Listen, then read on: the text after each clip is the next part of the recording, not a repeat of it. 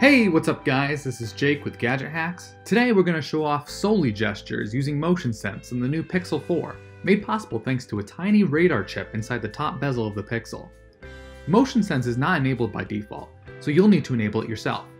Open Settings, tap System, tap Motion Sense, then tap the toggle next to Motion Sense to enable hands-free gestures. Let's check out music controls first. To skip forward, swipe right above the display. To skip back, do just the reverse. Swipe left over the display and you'll move back a track. Just like normal playback controls, if you're already into a song, swiping left will return you to the start of the track. You need to swipe one more time in order to skip to the previous track. You can also snooze alarms with these gestures. Swipe left or right above the display and your alarm will snooze, just like that. These same gestures work for silencing incoming calls as well.